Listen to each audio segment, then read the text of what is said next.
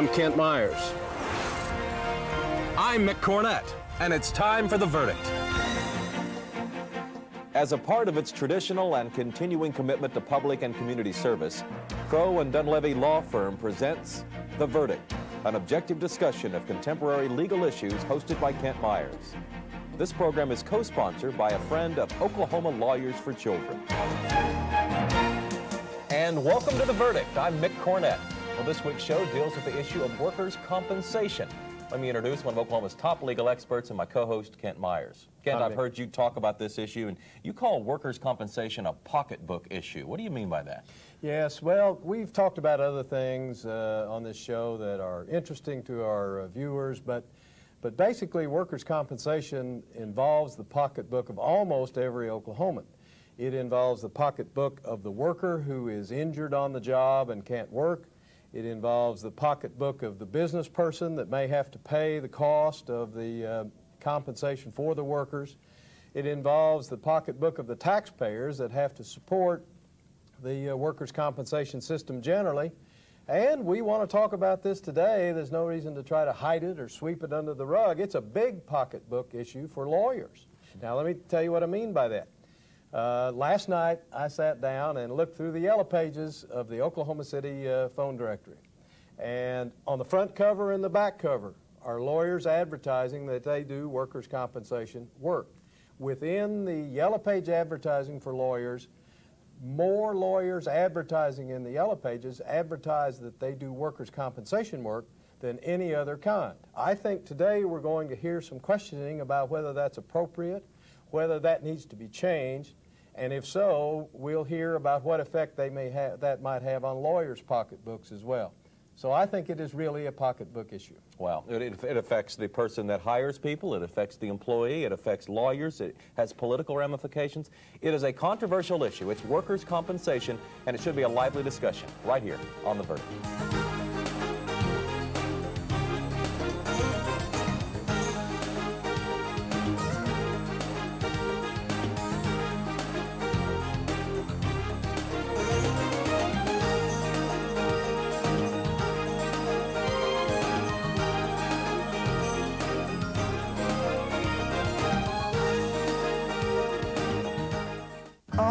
Deserve a life of hope and love. But sometimes they experience a life of pain, neglect, and abuse. When that happens, each child deserves all of the quality assistance and representation that can be offered in our legal system. Oklahoma Lawyers for Children has over 350 of the best attorneys and volunteers in Oklahoma County who donate their time and services to represent children.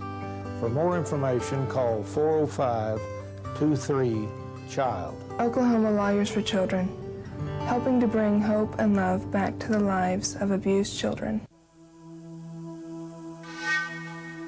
I enrich our cultural landscape. I help define our quality of life. I am one of 4,000 artists in central Oklahoma who receive support. support from Allied Arts, this community's united arts organization. I am. I am. I am an allied artist.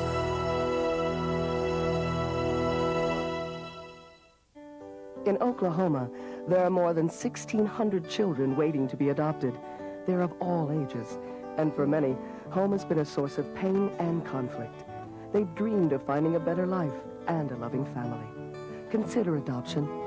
For more information, call 1-877-OK-SWIFT or visit the website www.okdhs.org.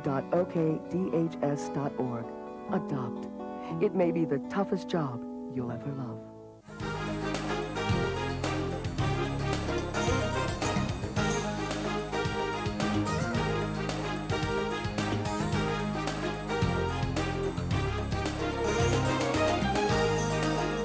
Welcome back to The Verdict. Mick Cornett with Kent Myers, and we're ready to discuss the issue of workers' compensation. Kent, why don't you introduce our guests? Yes, we're pleased to have two people who work with workers' compensation problems all the time, albeit in different ways. The first uh, is the Labor Commissioner of the state of Oklahoma, the Honorable Brenda Reneau Wynn. Uh, the serving as a Labor Commissioner since 1995, works with this uh, workers' compensation system all the time. And a newly announced uh, uh, candidate for the office of Lieutenant Governor in the state of Oklahoma. We're sure pleased to have you, Commissioner. Thank you for having me. It's a pleasure to be here. And we also have Fred Boettcher, who sees a different side of the workers' compensation system as a practitioner and the uh, managing partner and founder of one of the largest, if not the largest, workers' compensation firms in the state, Boettcher, Ryan, and Martin. He's a former state legislator and is a uh, founding uh, member of the Lawyers for Working Oklahomans. Fred, thank you for coming. Thank you for inviting me.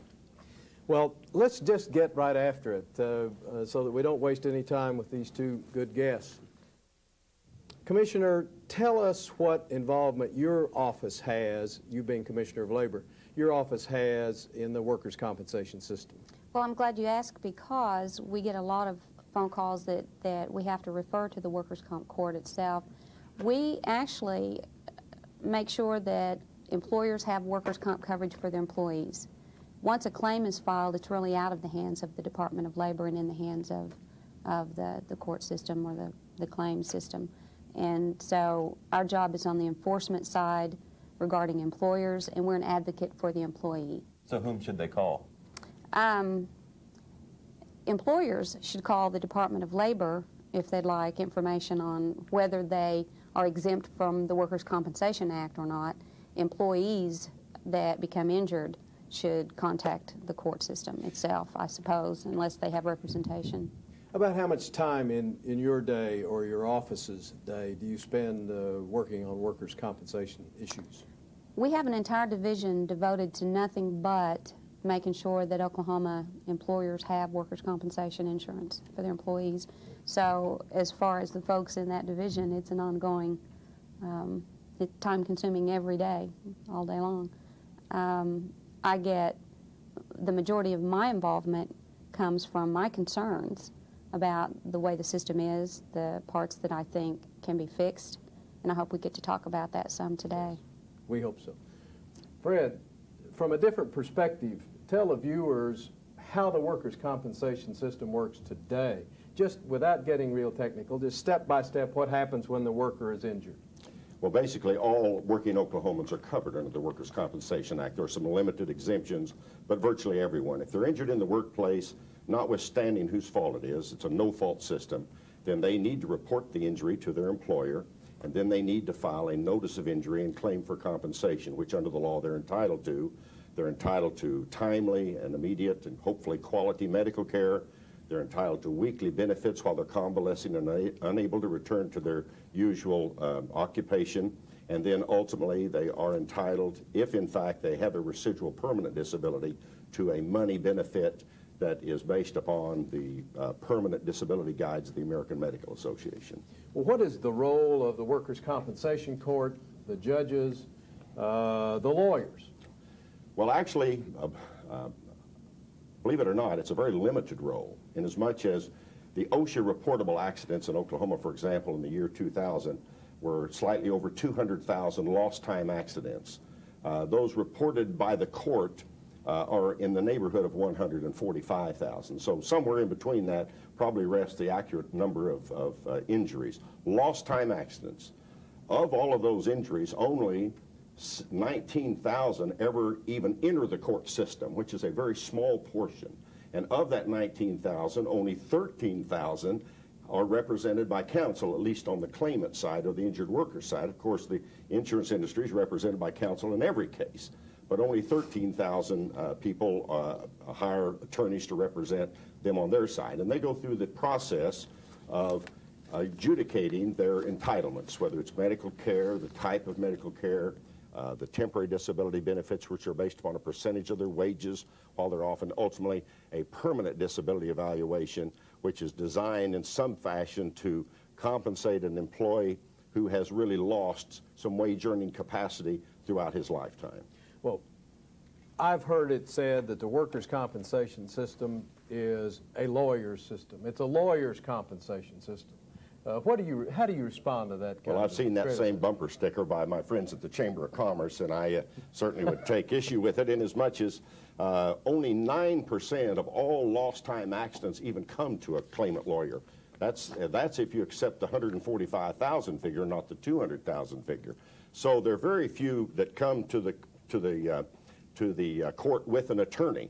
And they usually come to the court with an attorney after they have exhausted all of their own personal abilities to secure their benefits. Seldom does anyone come in my office and hire me, for example, that's already had an admitted injury, that the employer paying benefits, and that they're receiving medical care and attention. That's that other 155,000 that never seek legal attention. But there's unscrupulous employers, just like there are unscrupulous employees, who will fight and resist uh, uh, these benefits for every employee, regardless of whether the injury occurred or not. And that's the, the function of the lawyers in the system. Um, they, my clients pay me from their award. We're, uh, our fees are set at 20% of the permanent disability uh, uh, uh, that's uh, set secured, by law. set by law. Uh, not more than 20%, and on temporary disability, not more than 10%. And we get no percentage of their medical costs. We collect those as an additional service. And I might add that the, uh, the uh, contingent fee in workers' compensation is the lowest in the legal profession. It's the very lowest. And uh, our clients pay us, so our involvement does not affect rates. It, it can't. They pay it out of their award. Commissioner, any, any comment about that? Well, you just almost think we had a good system listening to our friend Fred here. Um, and and he, is it broken? It's broken. It's broken. And, and let me let me tell you why, why I don't think we it's stop broken. here and take a break, and we'll come back before you get into your presentation. Okay. I think that'd be a good Okay. time. It's workers' compensation. We're here on the verdict. Hope you'll stay with us.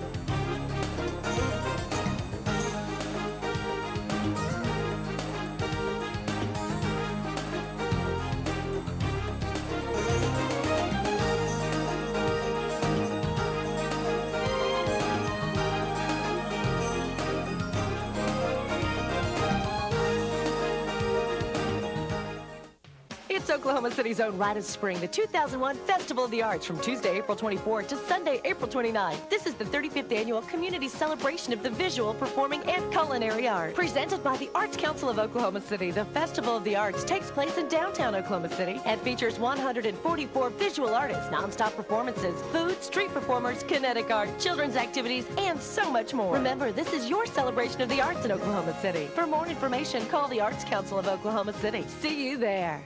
Every day, in state governments throughout the country, crucial decisions are being made that affect the lives of children and their families. But as this process takes place, children are often left voiceless. When these children raise their hands to be heard, is anyone listening? There are people listening. They are child advocates. Join us and raise your hand for kids. You.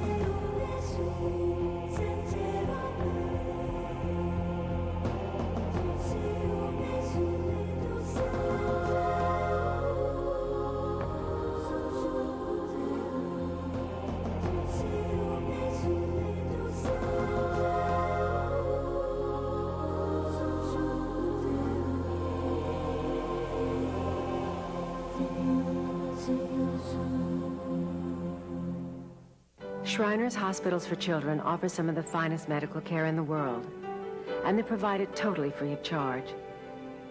The unique family-style care at Shriners Hospitals makes it feel like home to a lot of kids. There is a Shriners Hospital helping kids from this area.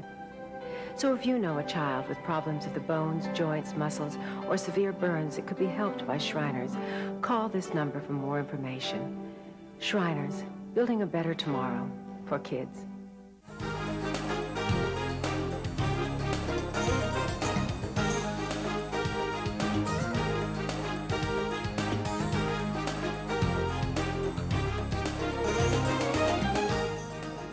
Back to The Verdict. I'm Mick Cornett. Well, we're discussing workers' compensation, and with us is the State Labor Commissioner, Brenda Reneau Wynn. And when I interrupted, you were about to give us a presentation on workers' compensation from your point of view. Well, I don't know if it's so much a, a presentation is uh, bottom line numbers, where we are, how we compare to other states. It'll be us. brief. It'll be brief. Um, right now, Oklahoma is one of only three states that still relies on the court-based system. And one of the things that I would like to see happen in Oklahoma is that we move more toward an administrative system, and I don't think At one time, I thought it could be a pure administrative system. Probably not. Could you sum up the difference between the two? Uh, yes, less lawyers.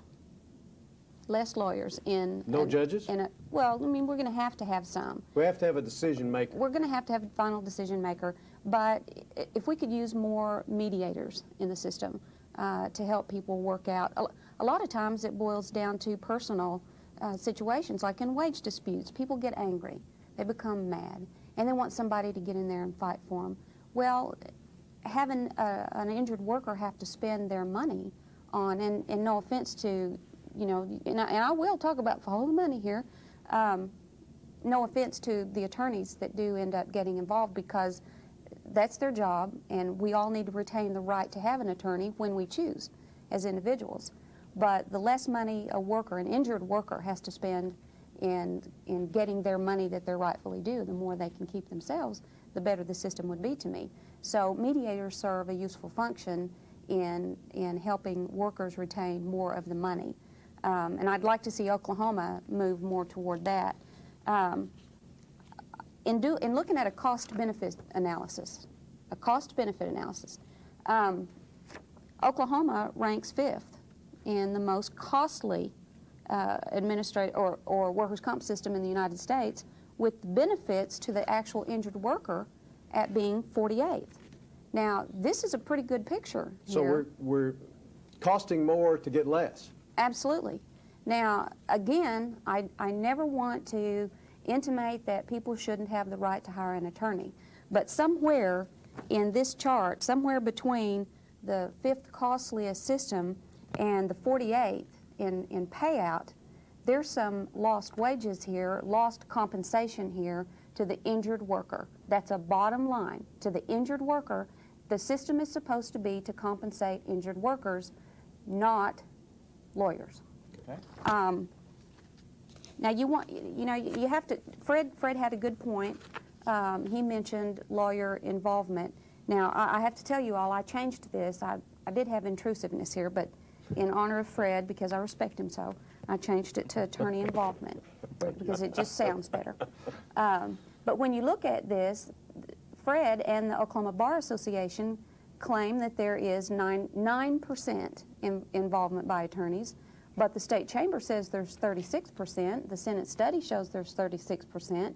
Um, whereas, like, you know, maybe like Fred said about the numbers he was referring to before, maybe somewhere in between there's the real actual numbers. But I tend to believe the 36% because that's what the legislature is working from. The research has been done. That's what's being studied in, in the Senate bill. And when you boil this all down to the bottom line, this is about compensating folks who've been injured on the job, trying to get the most compensation to that person possible, and, and less to the system, whatever part in the system or component in the system that might be. And my instinct is to follow the money. And even, I took this off of the Trial Lawyers Association own website, and it is a uh, quote from Bob Burke, who is a nice guy, but even he said, Oklahoma lawyer. Oklahoma lawyer, that the perception that a bad and fraudulent workers' compensation system was hindering economic development and it spawned massive reforms that have some lawyers worrying about their future. Now, we don't need to be sitting down at the table worrying about lawyers' futures. There's always going to be legal uh, situations for lawyers to have a future. What we should be sitting down at the table trying to work out, trying to fix, is the future of the injured worker. Can that they, sounds like the tail wagging the dog there, um, with the worrying about the lawyer's future as opposed to Right. the worker's future. So we have the Trial Lawyers Association worrying about the lawyer's future. We have those of us on the, the injured workers side worrying about their future, but also about the economic well-being and the future of the state as a whole. Now, the state of the whole is much more dependent on the, the workers and the people who get out and, and, and create economic prosperity than it is the future of just lawyers. So I like lawyers. Some of them are good friends, but they really have too much of a place in the workers' compensation system. Not that there aren't other places that need to be fixed too. Um, there are plenty in the medical industry, plenty, plenty fixes that we can attack there too. But since there's a lawyer on with me today, then of course, that's, you know, what I am focused on mostly. We're almost time for summations here, Kent, but Yep. Mr. Boettcher, I'm sure you want a chance to respond. Say what you'd like. Well, we're very quickly, uh, I- I'm not necessarily opposed to a, a, an, a, an administrative system. It just, m- I just want to make sure that the administrative system protects the employee as much as it does the insurance industry. I'm concerned about the employer and the employee, and where I'm really concerned is when she shows a chart that shows uh, uh, the cost, uh, we rank fifth, which there's a, a genuine dispute about that, our ranking, and the amount of benefits that the claimant gets. Not once have I ever heard an, an opponent of our position suggest that maybe that large uh, separation there might have something to do with gross profits by the insurance industry.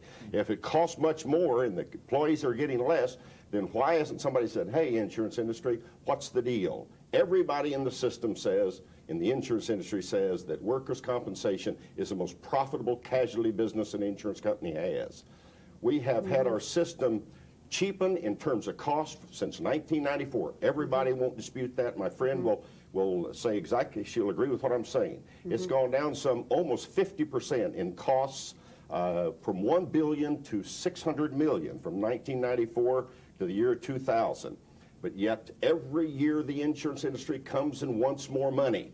My suggestion might be to take the politics out of those increases by maybe having the insurance commissioner be the guy that has to sit and listen to the request rather than the Board of Property and Casualty Rates. And then maybe he would listen to the little guy, the blue collar worker like Brenda's and my dad who all worked with their hands for a living. That's, that's where I'd like to see it go. Those are things that are important. Let's go to a 30-second summation for each of you, and Commissioner Reneau, why don't you go first? I'm not going to argue with anything uh, Fred said. Um, like I said before, there are components as you go along in this system that can all be addressed. Um, I am less interested in worrying about profits for the insurance industry, uh, percentages for lawyers, um, all of the things in between. And we've got better judges that are now, you know, in place that, that have been helpful. Costs are coming down. But the bottom line is not about who makes a profit off this system. Let me rephrase that. Should not be about who makes a, a bigger profit, whether it's insurance industry or whether it's lawyers. It should be about why is it that Oklahoma ranks near the bottom in benefit to the injured worker. And a final word from you, Mr. But one of those uh, alternatives is the answer to the problem. And I suggest to you that it's certainly not the attorneys that represent working men and women. In 33 years of representing these people, I've never had one of them complain about a 20% attorney fee. It doesn't cost the system one dime because they pay it out of their award. Now, the insurance industry hires people. They got to pay them. It does affect cost. But I suggest the insurance industry is the culprit here, as they usually are in these rate-making situations. Well, that's going to have to be the final word. Appreciate Mr. Boettcher. Thank you. Commissioner Reneau, My thank you for coming in. Thank you. We'll be right back to wrap it up on the verdict. Kent Myers and Mick Cornett will return after this.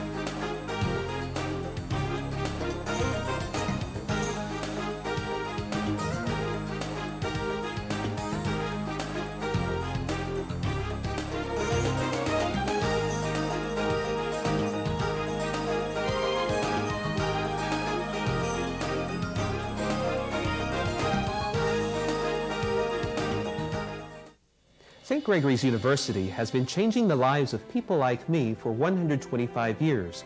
Affordable private Catholic education, balanced with dedication to community and service, makes St. Gregory special. We're extremely proud of our students' outstanding academic achievements and our nationally ranked athletic teams. It's when you help a student build a future of balance, integrity, and service that you change a life forever. St. Gregory's, a community for life. It might be about the loss of a loved one. Sometimes it's just about getting older. It could be about the breakup of a family. Or an unexpected illness. You might be devastated by a natural disaster. Sometimes it's about losing your job. Every citizen has the right to legal counsel regardless of their situation. Legal services, keeping the promise of America. You know what I think? I think you forgot to lock your door. A lot of people do that. They forget. It's too bad because all crime needs is a chance. Don't give it the chance. It's my job to teach you to protect yourselves. Make it your job to learn. Like, uh, light up your doors. Lights make burglars nervous. Oh, and one more thing. Lock your door. Take a bite out of crime. Mama, I played with Natalie today. You did? She's a girl at my school. She has pretty hair and I like her long hair. Mm-hmm. We played together, we talked together, and we were eating outside and um, bugs got on it. Ooh. Nah. Ooh. They're just fly around and get on people's food. Then we killed all the bugs and then it was gone before we knowed